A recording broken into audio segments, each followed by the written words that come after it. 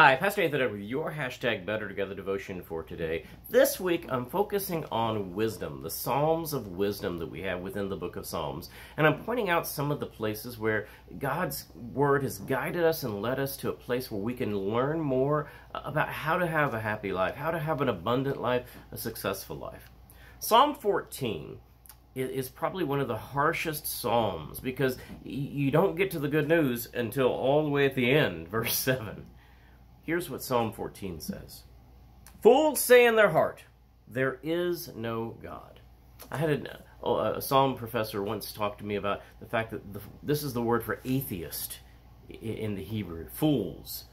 Fools say in their heart, There is no God. They are corrupt. They doing abominable deeds. There is no one who does good. Notice that it's including all of us.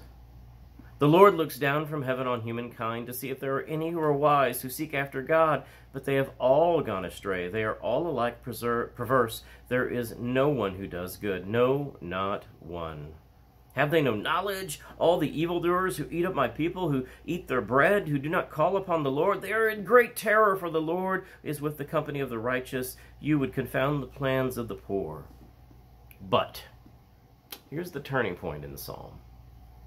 But the Lord is their refuge.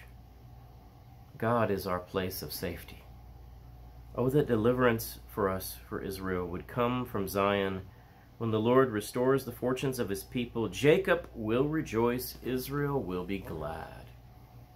This is a psalm that encourages us to have faith in God and belief in God, even in the midst of terror and troubles, to trust that God will deliver us through the bad things. Now, notice it doesn't say anything about where bad things happen or, or, where bad things come from. It kind of leaves that one up in the air. But instead, it just says trust in God for refuge, trust in God for deliverance.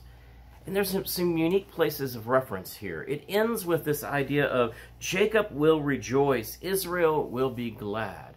Well, there's a funny thing about Jacob and Israel in the scripture stories.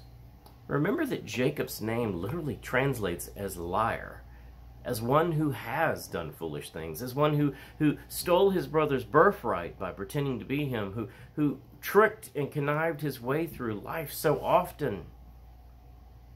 Israel. Israel, the nation of ten tribes uh, to the north that rebelled against the kingdom of David, rebelled against David's grandson. You see, there's this notion that even those of us who have gone astray, even those of us who have wandered, the Old Testament offers this promise that if we follow the path of righteousness, justice, love, if we follow the path of mercy, that God will deliver us. God is our refuge, but God is our refuge. That's an incredibly great message incredibly great understanding that we are we are not holy because we've done something worthwhile, but holy instead because we trust, that we pray, that we ask for refuge, that we ask for deliverance. It's the concept of grace, undeserved love from God, but God offers it to us freely, offers it to us to have this wisdom, to have this path forward. Hear, O Israel, God is with us. Amen.